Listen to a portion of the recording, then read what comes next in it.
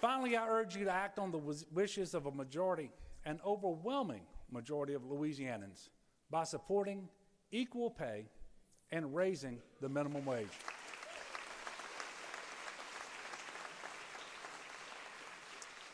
We should all be offended.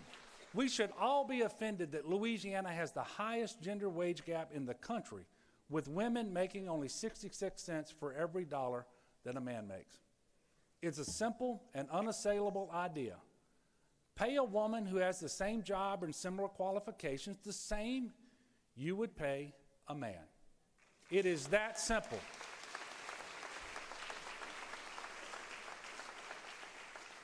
I'm the father of two daughters. Many of you have daughters of your own. But regardless, we should all want all of our daughters and sisters and wives and mothers to be treated fairly for their hard work. And it is a fairness issue, but it is also a family issue. When a mother goes to the grocery store to buy a gallon of milk, it doesn't cost 33% less because she's a woman.